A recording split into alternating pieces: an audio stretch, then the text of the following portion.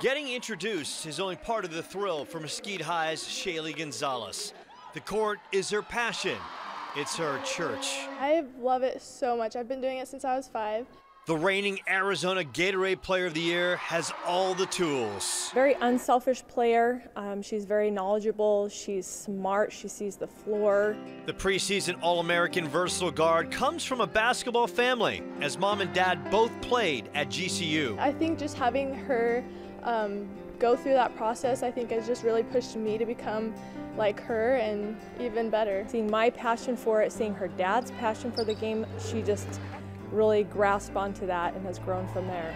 Yes, following mom was Shaylee's motivation, and listening to mom as head coach is as easy as driving the lane. I don't need to talk to her in a, in a, I don't have to yell at her or in a stern way. She just responds by me telling her what I need from her. Now, if Shaylee and mom were the same age, who would win the battle of one-on-one? I think one-on-one I'd probably come out with a win. This basketball phenom sets the bar high. She has two younger brothers and two younger sisters. And guess what? They all want to be just like Shaylee. It's just awesome just to see them like really look at me and how I just play during the game. I'll be like watching film and I'll hear them screaming and it's just awesome to feel the support from them. Making her family proud, Shaylee is also a musician. I play piano and I self-taught myself uh, ukulele and then I also play violin and guitar.